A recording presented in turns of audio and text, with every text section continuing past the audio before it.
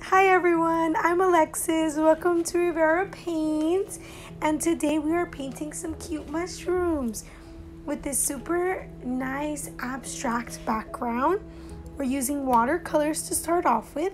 I have like a medium brush so it kind of covers some more surface a little quicker. And I start off with yellow, doing some crazy strokes. Um, and I add lots of water to it. You know, these are watercolors. So every once in a while, I add a little bit more water so it kind of dilutes. And then I start adding some orange and some reds in there. And you're gonna see how because there's a little extra water, not too much extra water, but little by little I add. So it starts to spread and they start to mix in this really like tie-dye, really pretty way. So that's what we're starting off with. It's like a nice beautiful mixture of these watercolors.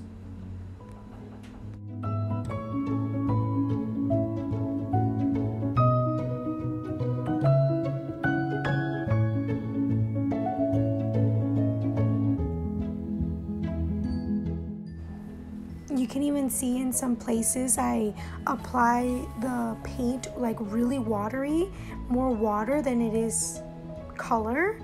And then, you know, in the spirit of abstract and looseness of color, I was like, I'm just gonna throw a green line in there, you know, because we have so many crazy strokes. Now let's have something like contrasted and make it just one clean line. It's kind of bleeding into the other colors, which is kind of nice and I'm here just like deciding, okay, what side is better? You know, composition is really key in painting, where you're placing things, how it's gonna look more visually pleasing. And I found that this way would be best because there's a lot of color up at the top. And I'm starting off with the mushroom heads. So they're kind of like a tight curved line, like a rainbow. And then a line at the bottom. And then I painted them in all the way red. And then as I paint them in red, I add a little bit of orange to them and a little yellow even towards the top to give it some like highlights and some extra color. I'm all about mixing. I love mixing colors. So the more that you can mix in there, the better, the more beautiful it will look.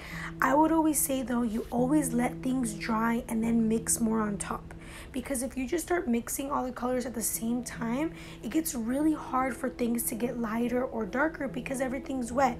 So it's all about like a drying game. Give it time to dry and then add some more highlights and colors along the top. By the way, now we're working in acrylic paint and on watercolor paper with a small flat tipped brush.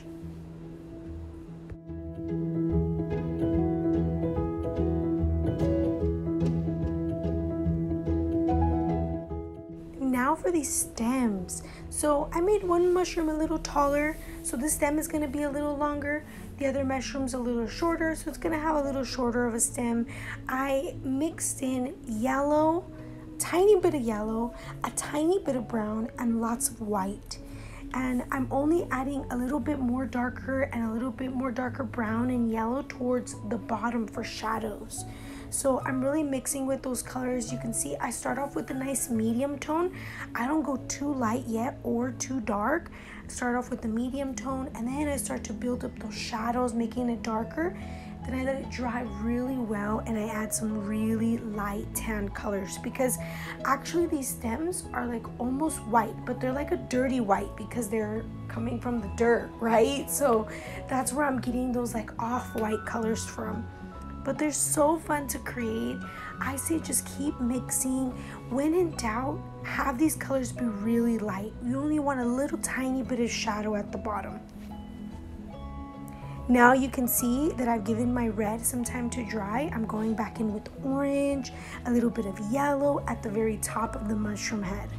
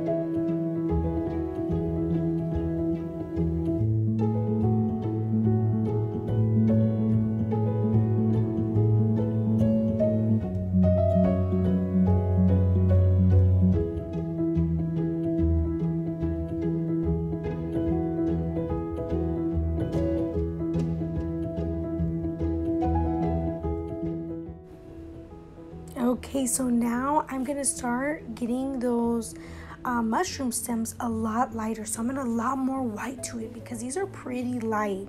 And um, it's good to have contrast when you're doing shading or making something realistic. You wanna have a lot of really bright, bright lights and a lot of really nice dark darks. That contrast is gonna make things pop a lot more. So that's what I'm doing here, just adding all those really light tones now, really amplifying those lights and those darks.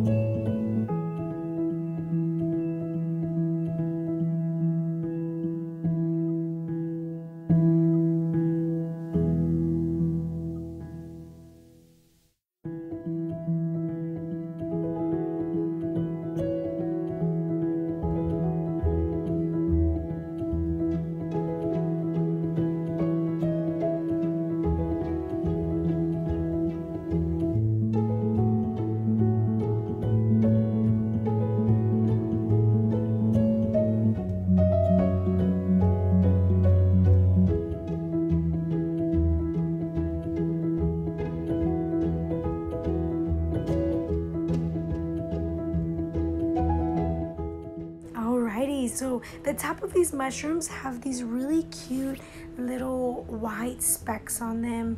Um, some of them are a little bit bigger, some of them are smaller, but it creates lots of texture to this mushroom. It almost makes it look like it feels like a little rough. It has these these things that kind of protrude it and come out. So I start off with the shadow color, a really nice light gray and then the same thing like everything else. I build it up. I let that light gray dry then i add some white or i add white and then i add light gray after. So i'm just going back and forth with a little bit lighter and darker shades but I make sure to make um, these little shapes very angular. So they have some angles to them some like sharp points some more curved points. I change them up towards the bottom of the mushroom. They're really tiny. And as they come up they just get a little bit bigger here and there. And less is more. So if you do too much of this it's gonna overwhelm your mushroom. So I say just do a little bit at a time. Take a step back, you know, work on the other mushroom and then come back and you can kind of dictate whether you want to add more of these little specks on your mushroom or less. And that's how I draw in these little cute white marks. And um, at the bottom of the mushroom, I just added a little bit more darkness, like almost like soil-like looking. So this is this beautiful style of mushroom. I've had so much time so much fun painting them. They're just the cutest little things. So I hope you enjoy them too. Definitely send me pictures, DM them to me so I can share them on my Instagram and on my YouTube. My Instagram at is at Rivera Paints. I'd love to see your artwork. Stay creative, stay painting. And until next time, bye my friends.